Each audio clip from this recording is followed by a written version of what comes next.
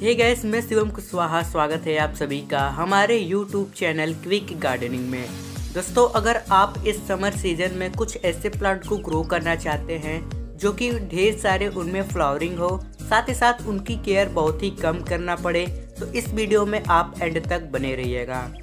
इस वीडियो में दोस्तों, कुछ ऐसे प्लांट्स मैं आपके साथ शेयर करूँगा, जिनकी केयर बहुत ही कम करनी पड़ती है, और इसमें जो फ्लावर होते हैं, काफ़ी ढेर सारे खिलते हैं। और ये सभी प्लांट दोस्तों आपको सितंबर तक ढेर सारे फ्लावर देते रहेंगे। तो दोस्तों, सबसे पहले प्लांट जो मैं आपके साथ शेयर करूँगा वो है जीनिया का प्लांट जी दोस्तों, जीनिया का प्लांट समर सीज़न में काफ़ी अच्छी तरीके से ब्लूमिंग करता है और इसके जो फ्लावर होते हैं, दिखने में काफ़ी खूबसूरत होते हैं। जीनिया के प्लांट की दोस्तों कई सारी वैरायटीज आती हैं। इसमें आपको सिंगल पेटल डबल पेटल दोनों तरह की वैरायटीज आपको मार्केट में देखने को मिल जाएँगी।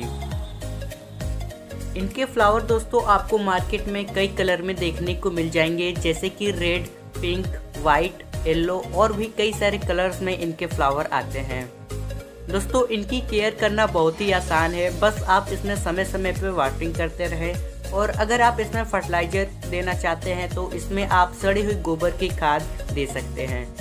सड़ी हुई गोबर की खाद इसके ग्रोथ के लिए काफ़ी बेस्ट माना जाता है।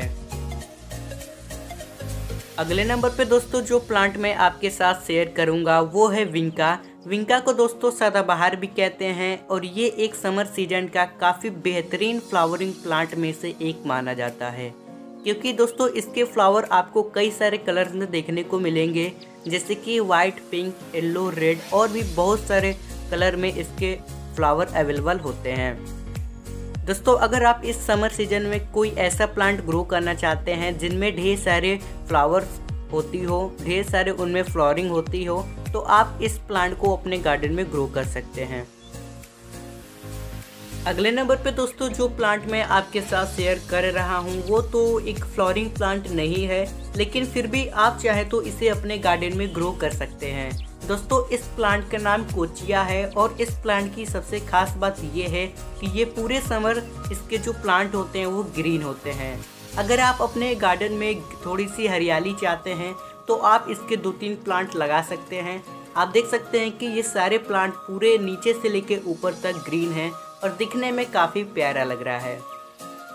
तो आप चाहे तो इस प्लांट को अपने गार्डन में ग्रो कर सकते हैं।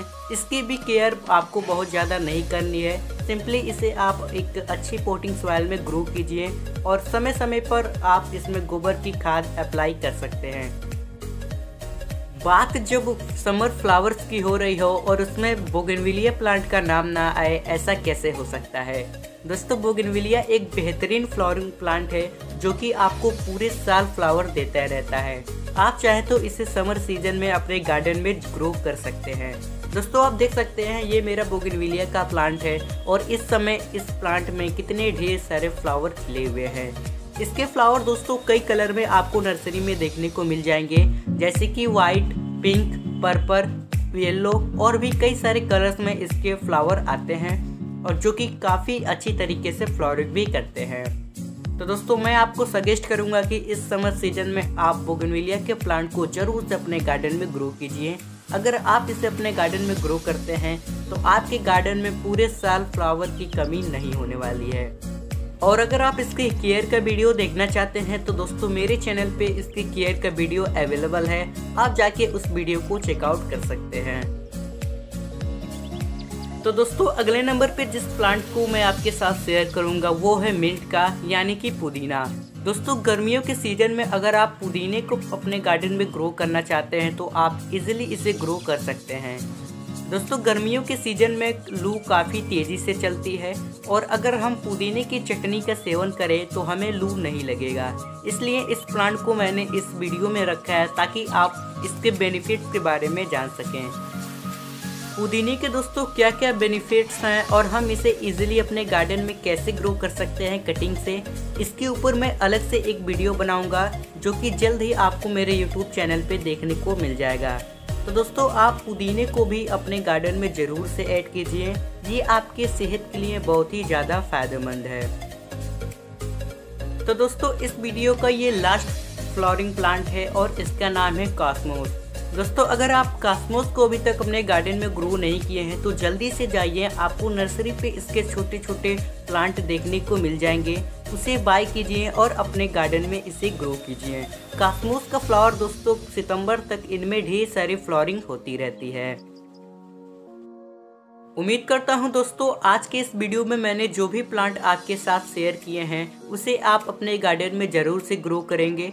और अगर दोस्तों ये वीडियो आपको पसंद आया तो वीडियो को लाइक ज़रूर कीजिएगा।